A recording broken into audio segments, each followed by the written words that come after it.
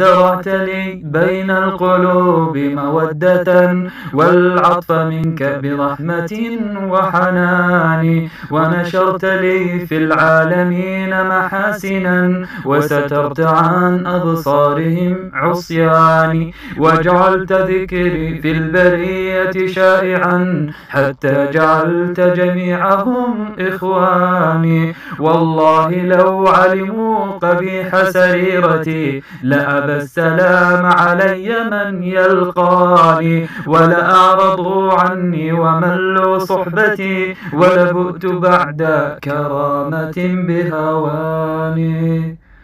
لكن سترت معايبي ومثالبي وحلمت عن سقطي وعن طغياني. فلك المحامد والمدائح كلها بخواطري وجوارحي ولساني.